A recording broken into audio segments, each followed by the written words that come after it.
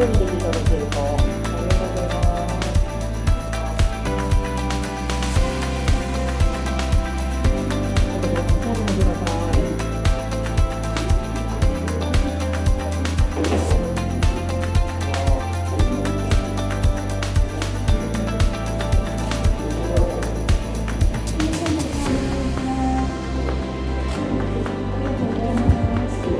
こちらです。お願いします。と今回はグライフ3に続き4で2回目の出演になります。私が演じるのはメインのミスズという役で前回あじゃあメインの渚という役で前回演じたのがミスズでした。ごめんなさい。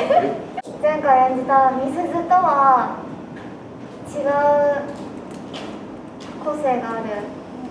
役だと思うので前回からさらにパワーアップして違った自分なりの渚を私が演じていけるようにそれを皆さんに見せていけるように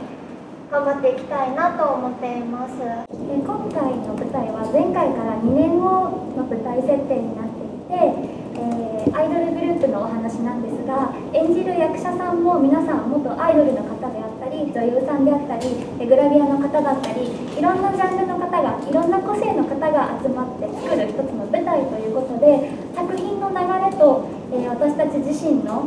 個性っていうのがかなりリンクしてるなと思っています。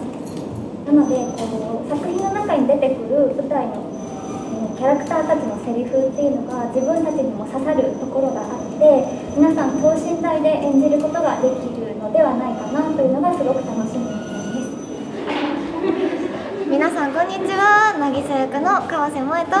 同じく渚役の田島真由美です。この度グライフ4が上映されることになりました。期間は9月1日から9月5日まで。場所は荻窪にあるオメガ東京です。皆さんぜひご来場お待ちしてます。待ってます。待ってます